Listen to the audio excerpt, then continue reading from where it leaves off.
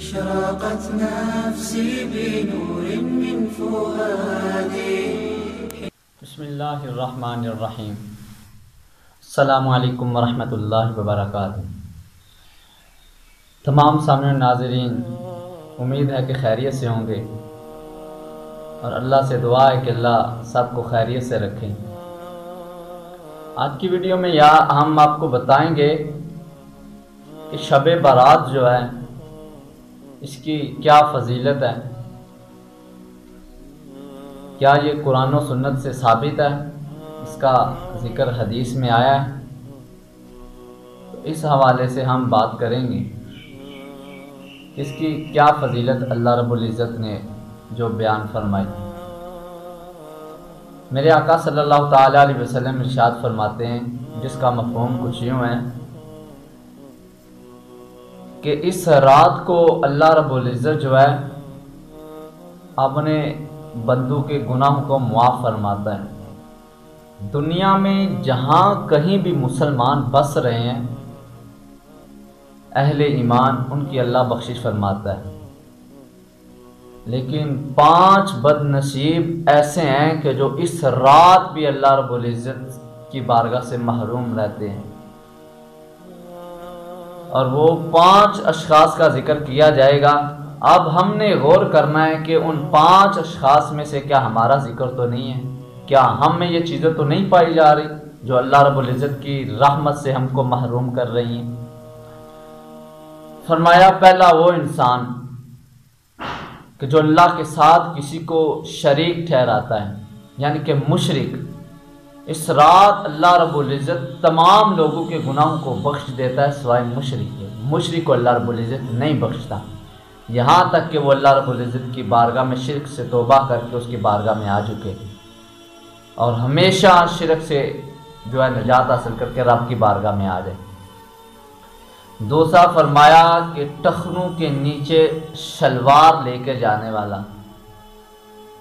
ویسے نہیں، تکبر کی بنا پر اگر کوئی شخص تکبر کی بنا کر بنا پر اپنے ٹخنوں سے شلوار کو نیچے رکھتا ہے، تکبر کرتے ہوئے تو ایسے بندے کو بھی اللہ معاف نہیں فرماتا۔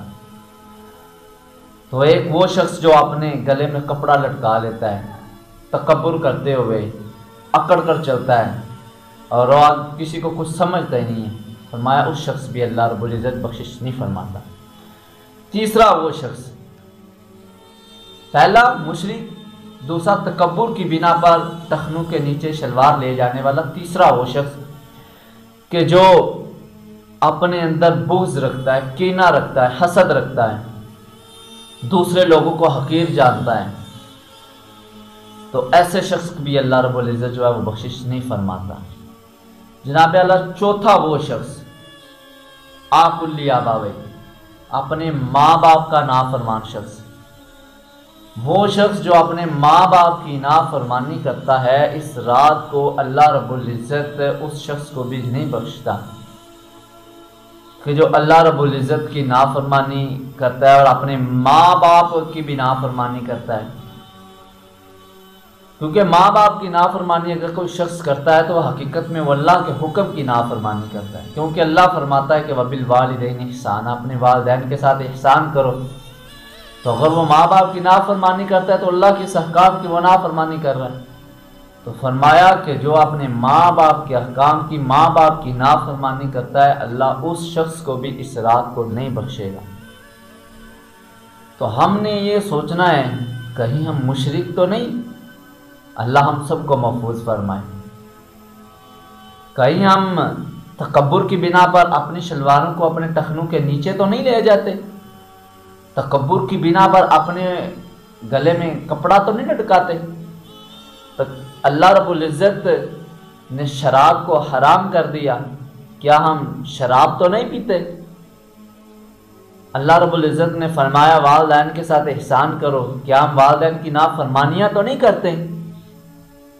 فرمایا، پانچ شخص یہ اللہ رب العزت کی بارگاہ میں اس رات کو بھی محروم رہتے ہیں۔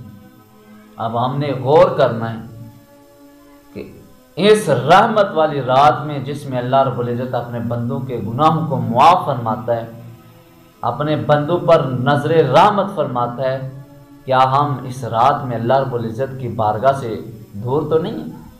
آج میرے بھائیوں، جس نے شرک کیا، وہ بھی معافی مانگ لے، وہ معاف کرنے والا ہے۔ جو تکبر کرتا ہے، نرمی اختیار کر لے آجزی میں آ جائے، وہ معاف فرما دے۔ جو شرابیں پیتا ہے، توبہ کر لے۔ اس کی بارگاہ میں سچی توبہ کر لے۔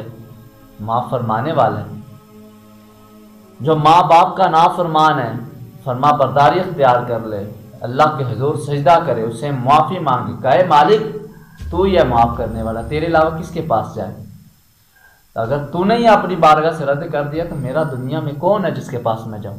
تو یقین جانو، وہ مالک بڑا رحم دل ہے۔ معاف فرما دے۔ دعا ہے کہ اللہ رب العزت ہمیں ان کاموں سے بچنے کی اور اپنے رب کو راضی کرنے کی توفیق